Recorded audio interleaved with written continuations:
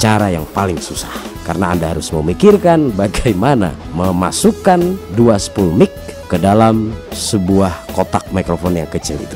Dan ini memang susah dicari nih terapu-terapu jenis seperti ini sekarang ini. Kecuali Anda bisa mendapatkan pada rangkaian-rangkaian eh, piranti bekas gitu ya. Dia akan digabungkan di sirkuit gitar ini dan memiliki output berupa dua jalur menggunakan jack TS mono untuk keluar untuk dicolok ke mixer atau ke amplifier.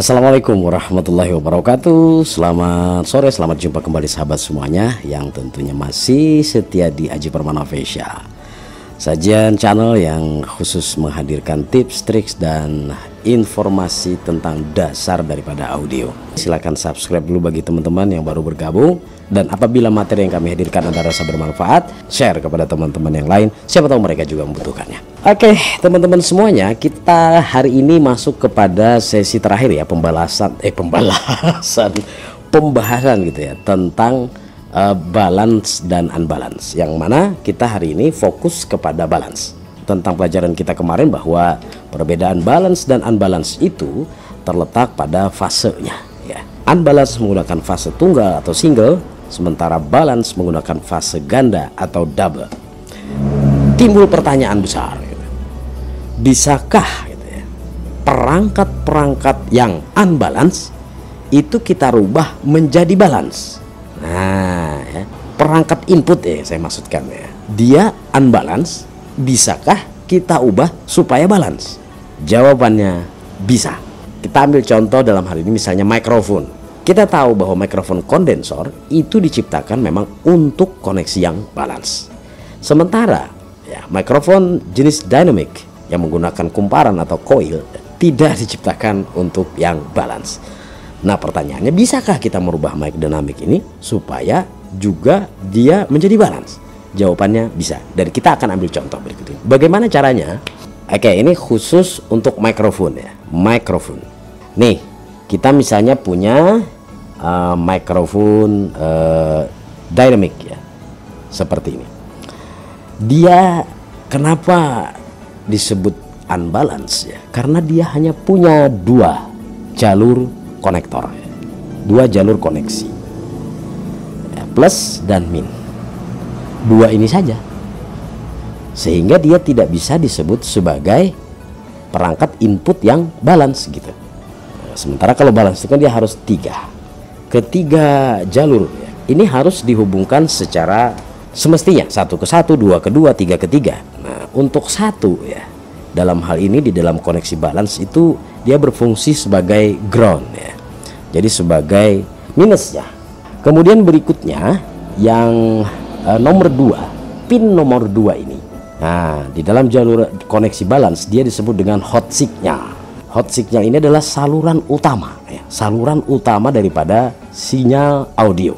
Ya, dia dipakai ini. Kalau dal dalam jalur unbalance maka dua inilah yang diambil sebagai uh, koneksi sinyalnya. Tapi di dalam koneksi balance dia berfungsi sebagai hot signal. Hot signal ini maksudnya adalah dia dengan fase normal. Nah sementara yang ketiga ini disebut dengan cold signal di mana ini juga merupakan pengirim sinyal tetapi dengan fase yang terbalik. Bisakah mic dynamic ini dibuat dengan koneksi balance? Itu pertanyaannya. Kita akan coba bongkar dulu ya mic dynamic ini. Nah, ini kita anggap mic dynamic kita misalnya ya. Oke. Kita pahami dulu struktur yang ada di dalamnya. Saya katakan kemarin bahwa mic dynamic itu cuma terdiri atas spool saja di dalamnya. Tidak ada perangkat apa-apa selain spool yang dibantu dengan switch di sini on off-nya ya. serta tiga pin di sini sebagai penyalur eh, apa namanya konektor kabelnya. Struktur dynamic itu ya yang banyak dipakai itu adalah seperti ini. Nah jadi spool mic ini dikoneksikan plus dan minusnya seperti ini ke saklar ke switch on off dulu kemudian Untuk plusnya dia dikoneksikan ke hot signal di dua. Kita tahu tadi dua adalah hot signal, signal yang utama. Jadi kalau memakai uh, tiga pin, ketiganya dipakai. Tapi kalau hanya memakai untuk unbalan, maka dua nyala yang diambil. Gitu. Jadi plusnya dikoneksikan ke dua, sementara minusnya dikoneksikan ke satu. Ya.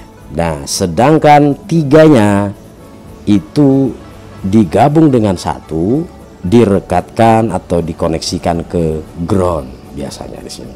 Nah, inilah uh, struktur mic dynamic yang kita kenal selama ini ya. Baik dia digunakan dengan jalur menggunakan uh, perpaduan antara Canon female dan Akai male ataupun juga benar-benar menggunakan uh, jack Canon sepenuhnya dia terkategori sebagai mic unbalance. Nah ini yang kita perlu tahu dulu dasarnya bahwa dia memang diciptakan untuk sumber suara yang unbalance. Bisakah jenis mic dynamic seperti ini kita jadikan balance? Kalau bisa, bagaimana caranya? Untuk membalanskan ya, sebuah microphone dynamic ada beberapa cara sebenarnya. Uh, saya tahu paling tidak ada tiga cara ya tergantung anda sih. Cara yang mudah cara susah dan yang paling susah gitu. Untuk cara yang mudah pertama bahwa kita harus yakinkan dulu bahwa kita kalau ingin menjadikan ini sebagai balance jadi kita tidak memakai ini hanya memakai yang ini saja. Salurannya sudah kita bereskan ya menggunakan tiga pin yang dirakit secara benar gitu ya tidak digabung tadi satu ke satu dua ke dua tiga ke tiga senormalnya gitu. Nah, sementara untuk di dalam mic dynamic ini sendiri kita lakukan perubahan. Kita melakukan perubahan eh, koneksi perkabelannya. Yang pertama, koneksi ground ke pin 3 ya. Ke pin 3 ini kita putus, kita hilangkan. Oke.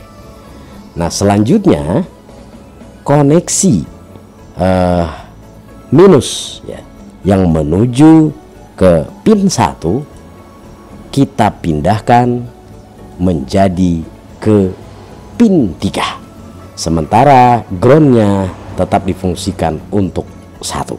Jadi posisi spool mic yang ada di sini dia benar-benar menggunakan saluran 2 dan 3 3 sebagai cold signalnya dan dua sebagai hot signalnya sementara satu benar-benar difungsikan sebagai ground.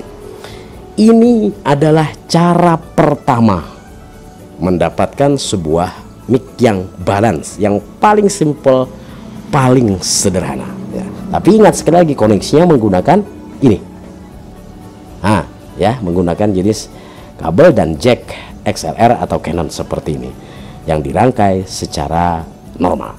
Kemudian ada cara yang kedua ini agak lebih sulit ini tapi juga lebih bagus lebih kena ya.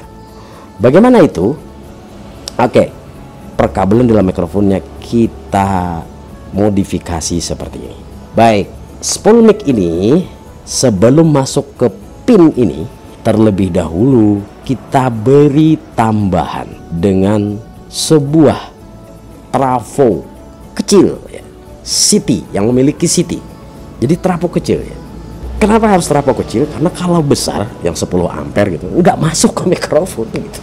Dan ini memang susah dicari nih terapu-terapu jenis seperti ini sekarang ini. Kecuali Anda bisa mendapatkan pada rangkaian-rangkaian uh, piranti bekas gitu ya. Kalau beli ya cukup susah didapatkan gitu ya. Nah, jadi terapo ini yang menggunakan City ya. Kita tahu teman-teman, terapo City itu ya inputnya dua. Ini yang berasal dari spool mic ini sebagai inputnya. Sementara outputnya dia punya tiga. Ya ini jenis trapo city. Nah tiga ini uh, di tengah kita ambil sebagai minusnya di mana minusnya itu adalah satu ya. maka kita koneksikan tengahnya atau sentralnya tadi ini city-nya ini ke satu sekaligus juga kita koneksikan ke groundnya Oke. Bisa dilihat di sini. Nah, kemudian untuk bagian yang hot signalnya ya. itu kita ambil dari jalur sebelah ya. Oke. Nah ini. Sebelah kiri untuk jalur hot signalnya ke dua gitu, ke posisi dua dan untuk cold signalnya kita berikan ke angka tiga ya. Nah ini dengan cara seperti ini bahwa mikrofon dynamic kita itu sudah menjelma menjadi mikrofon balance dengan cara menambahkan trapo city ini di tengah sebelum dia masuk ke.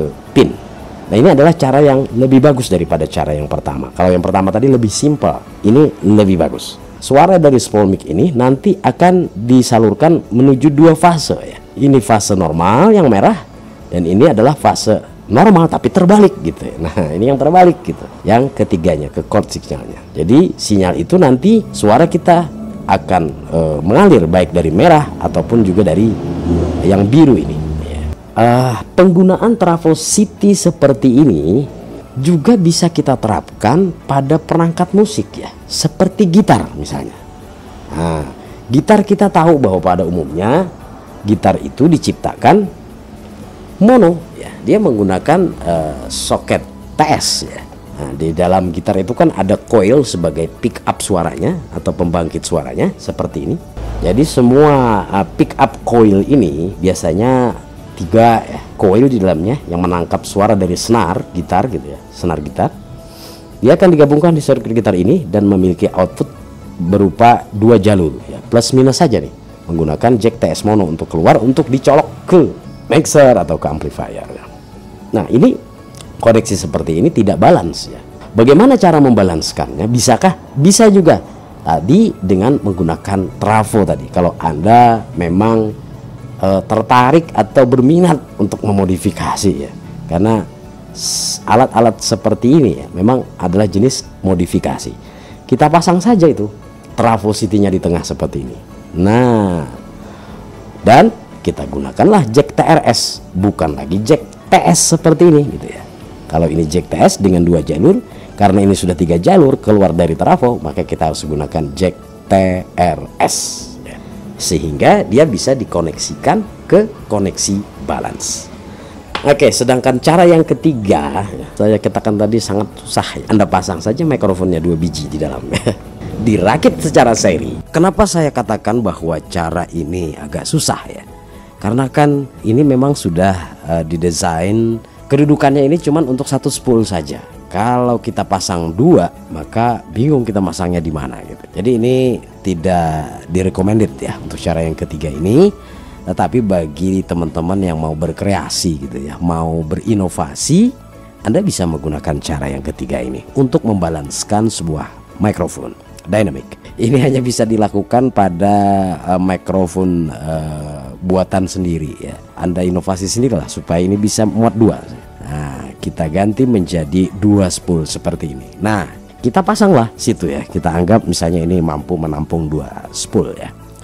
Nah, dua spool ini ya kita pasang secara sejajar, tapi yang satunya kita balik nih fasenya. Kalau ini plus min, ini min plus gitu loh. Kita tahu tadi bahwa untuk uh, balance itu dia punya dua fase sinyal. Kita akan berikan dia dua fase sinyal dengan menggunakan dua spool mic gitu ya. Oke, untuk spool mic ini minusnya kita rangkai terlebih dahulu kita satukan ya masing-masing minus gitu ya. Anda kalau tidak mau membalik ini tidak apa-apa, tetapi yang jelas min kita harus gabung dengan min, kemudian kita uh, alirkan ke pin satu karena pin satu ini adalah sebagai uh, jalur minusnya ya, yang sekaligus kita satukan pula ke groundnya gitu ya. Kemudian untuk spool mic yang tidak dibalik tadi ya yang dalam posisi normal kita anggap spool mic yang di atas ini yang posisi normal ini yang posisi dibalik tadi ya.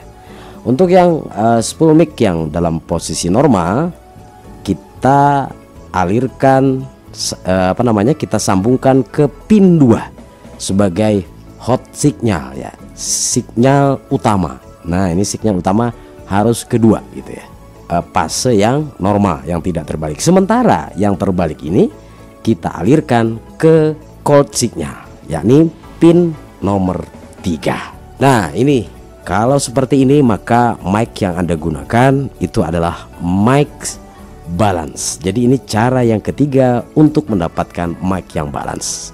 Cara yang paling susah. Karena Anda harus memikirkan bagaimana memasukkan dua spool mic ke dalam sebuah kotak mikrofon yang kecil itu. Saya katakan sekali lagi bahwa ini hanya bisa dilakukan dengan cara ya membuat uh, kotak mikrofon sendiri ya dimodifikasi gitu. Kalau untuk kotak mikrofon yang uh, sebagaimana pasaran itu tidak bisa ini dimasukkan ya. Kecuali Anda bisa ngakalin gimana kayak ya. Yang jelas untuk posisi atau balance yang ketiga ini kita bisa menggunakan pula dengan menggunakan dua spool mic ya. Jadi ini dia memberikan fase yang normal yang merah uh, mic yang satu ini, kemudian mic yang kedua ini memberikan fase yang terbalik.